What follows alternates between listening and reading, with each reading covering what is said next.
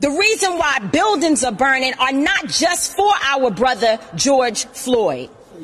We're, they're burning down because people here in Minnesota are saying to people in New York, to people in California, to people in Memphis, to people all across this nation, enough is enough.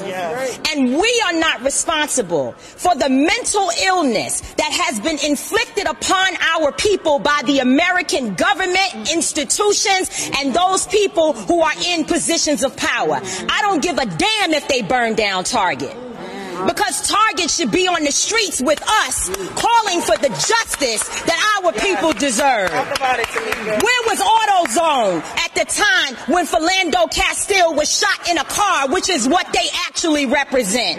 Where were they? So if you are not coming to the people's defense, right. then don't challenge us when young people and other people who are frustrated and instigated by the people you pay. You are paying instigators to be among our people out there throwing rocks, breaking windows, and burning down buildings.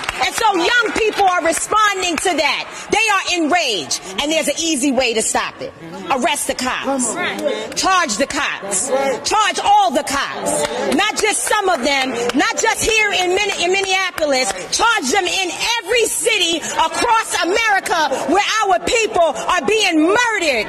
Charge them everywhere.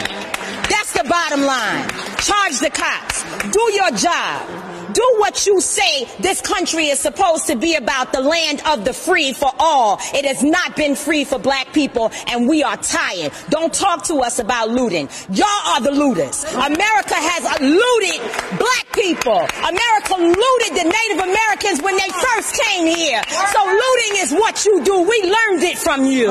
We learned violence from you.